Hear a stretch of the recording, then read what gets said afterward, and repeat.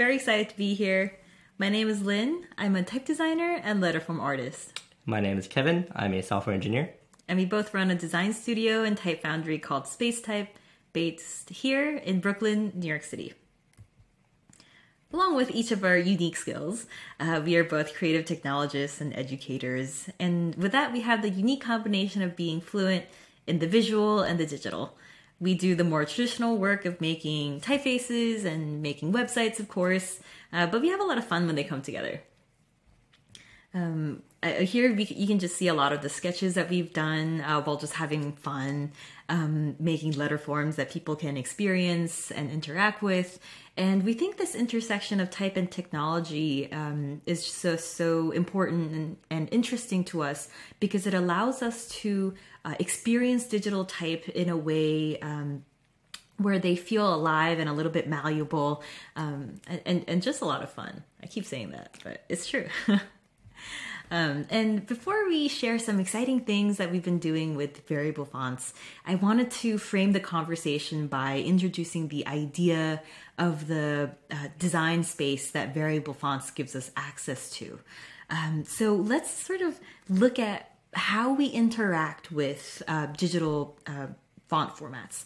Um, so, tr- so you can kind of think about any um, scenario where you're typing a letter on any sort of app that you have on your desktop. And if you think about how you just like type a letter A and it appears on the screen, um, it seems instantaneous, but there's a process that is happening. So for uh, most keyboards, uh, they have little chips that tell the, uh, you know, like the computer what key was pressed. Um, so uh, when you press a capital letter A, the keyboard transmits a Unicode, the code uh, that signifies uh, the glyph that it was uh, tied to, let's say. And so a capital letter A uh, sends out a signal of 65.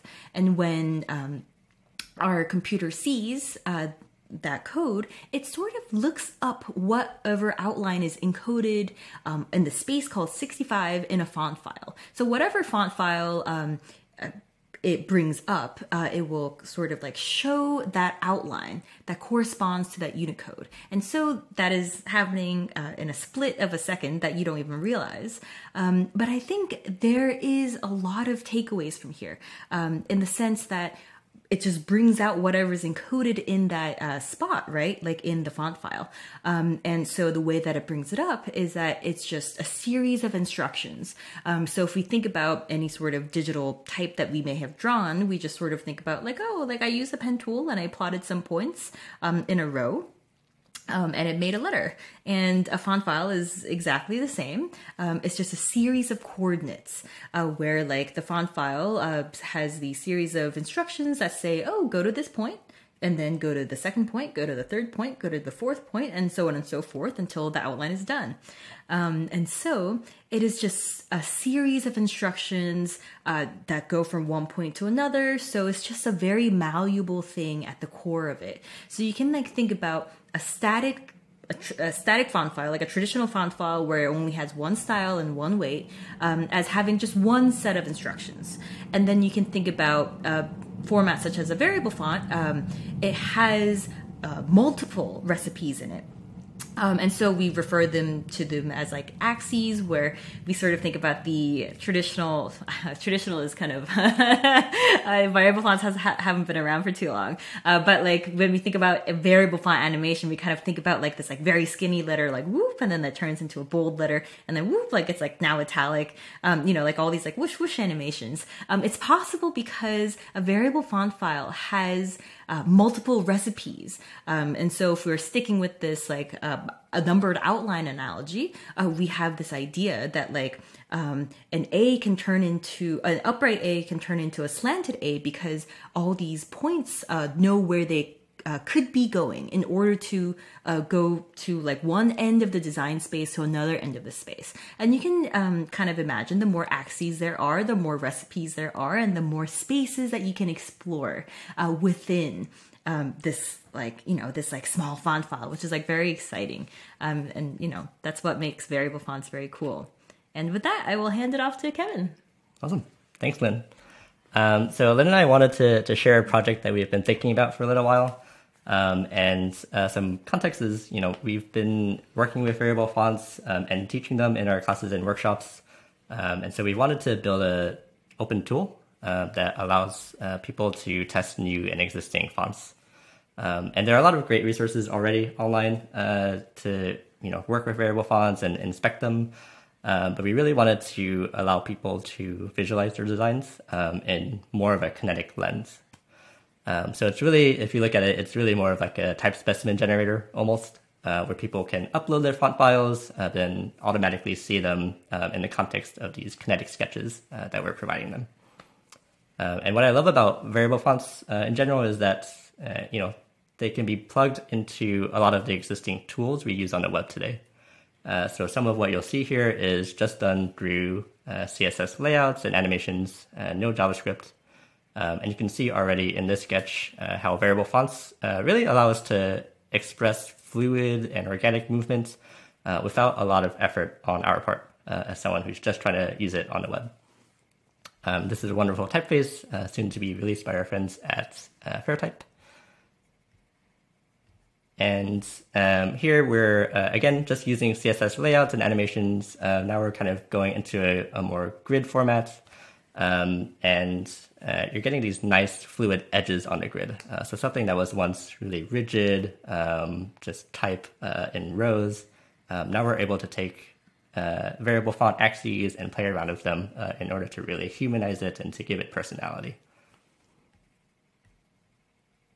Uh, we could also use variable fonts in more of a reactive, interactive sense.